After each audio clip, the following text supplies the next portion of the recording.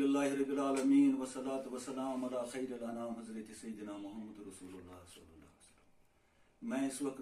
جناب doctor Tabish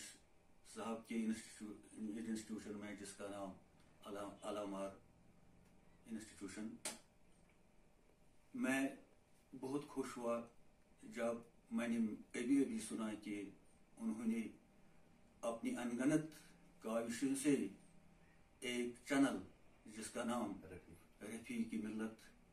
channel ہے جو اس وقت کی اشد ضرورت تھی کہ اعتقاد کی بات پہنچانے میں جو دقتیں آتی تھیں جو عام لوگوں تک یا خاص لوگوں تک پہنچانے میں ہم کو بہت سے مشکلات پیش آتے تھے۔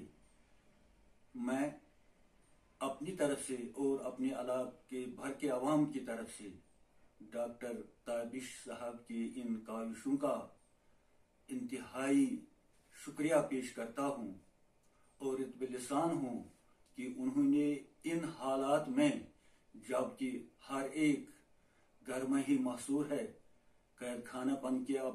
ویسے جیلی بن گیا ہے، لیکن ان بندشوں میں بھی، ان سختیوں کے وقتوں میں بھی انہوں نے ایسا کام کیا، ایسا کام کیا، ایسا کام کیا، جس کے لیے میرے پاس الفاظ نہیں ہے یہ وہ چینل ہے، جس کے ذریعے سے انشاءاللہ تعالی حقیقت کی بات، خدا کی بات، خدا کے پیاروں کی بات، اچھی بات جو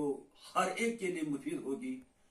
جو ہر ایک خطے کے لیے مفید ہوگی، بغیر رنگ نسل کے، بغیر حسب نسل کے، یہ انسانیت کی بات ہوگی، یہ سچائی کی بات ہوگی اور ذریعہ بنے گی آپ یہی چینل جو میرے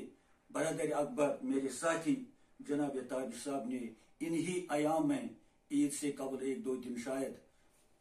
شروع کی ہے۔ انشاءاللہ میں دعا کروں گا اس چینل سے جو بات عوام تک پہنچے، اس عوام کا بھی میں شکریہ پیش کرتا ہوں۔ اور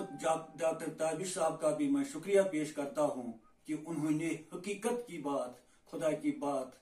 پہنچانے کے لیے جو یہ کوشش کی، اس کو خیر دارن ادا کرے آمین۔ سما